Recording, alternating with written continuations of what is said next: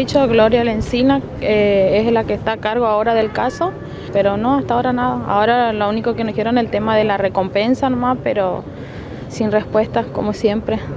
Eh, ¿Cómo hacen para seguir? Me imagino porque tienen una, gran pregunta en, su cabeza tratando de entender algo. Sí, no, ninguna respuesta alguna. Yo vuelvo a recalcar, no sé si porque somos de la etnia com, no tienen olvidado, la verdad, siempre hago hincapié en esa área porque eh, cada vez que venimos a pedir una respuesta no nos dan y, hoy vinimos a, pedir justicia.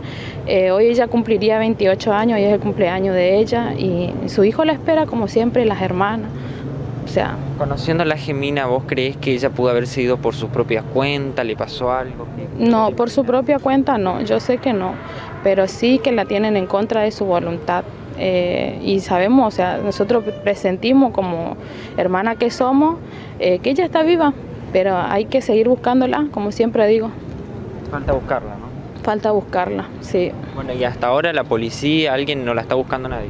Hasta ahora no, por lo visto no, porque no, nos venimos a pedir acá alguna respuesta y no nos dan ninguna, siempre es la misma, siempre es la misma la recompensa, pero como dijo eh, ella que hay que hacer más visible esta noticia, ¿viste? Se, le pedimos por favor a los medios de comunicación que hagan, eh, que nos hagan el favor de compartir esta publicación o el pedido de justicia que nosotros hacemos siempre. Eh, nosotros nos acercamos como familiares de Gemina para que no se olviden del caso Gemina. Yo sé que hoy no es público, no es el interés público de la gente, pero la familia insiste en la desaparición de Gemina. Queremos respuesta, queremos saber el hasta el momento no hay avance en la justicia, no hay detenidos, no hay ninguna cuestión que pueda aportar y ayudar a, que se resuelva y que nosotros sepamos qué pasó con Gemina.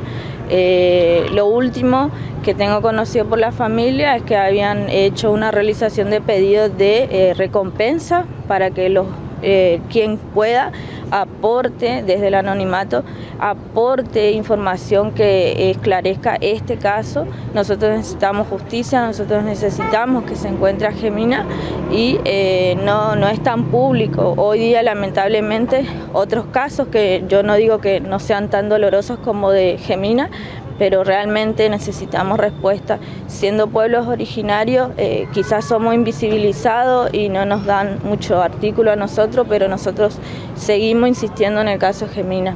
En todo este tiempo intentaron, me imagino, acercarse a la justicia, pedir respuesta. Incontables las veces que vinieron las hermanas de Gemina pidiendo justicia, pidiendo eh, que se continúe con la investigación, que se avance, que se logre alguna pista que realmente nos dé respuesta a nosotros y eh, muchas veces vinieron la familia y no hay respuesta.